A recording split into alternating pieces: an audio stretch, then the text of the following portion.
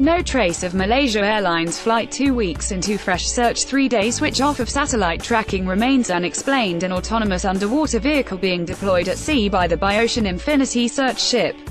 Photograph, AFP, Getty Images Malaysian officials have confirmed missing flight MH370 has not been found after a second week of searching, but questions persist about a three-day period during which the designated search ship disappeared from satellite tracking.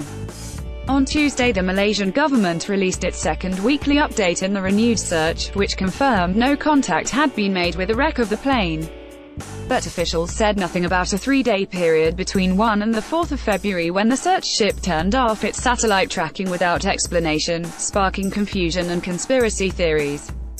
The new search began on the 22nd of January after the US-based company Ocean Infinity was hired by the Malaysian government to find the missing plane, which disappeared in March 2014.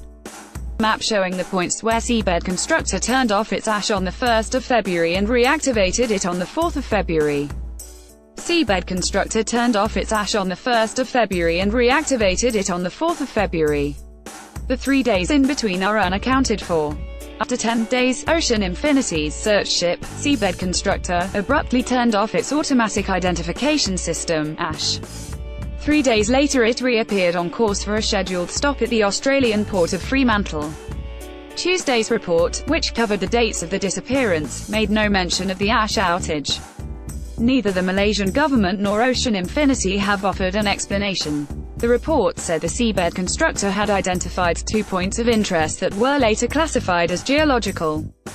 Map of the new MH370 search area, showing two weeks of searching in orange.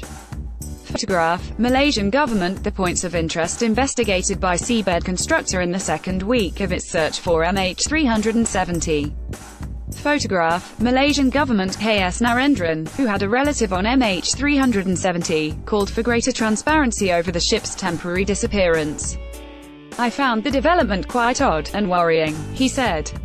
If this silence and becoming invisible was intentional, to ward off suspicion, a satisfactory explanation is due. If it was for other reasons, then in the interest of transparency, we ought to be told what caused it. The three-day data blackout sparked speculation online, including a conspiracy theory that seabed constructor had taken a detour to recover sunken treasure. Other observers suggested the tracker may have malfunctioned, or been turned off while examining the two geological points of interest to prevent speculation that the plane had been found. The Guardian contacted the Malaysian government and Ocean Infinity but did not receive a response. Seabed Constructor is scheduled to leave Fremantle and return to the search area on the 12th of February.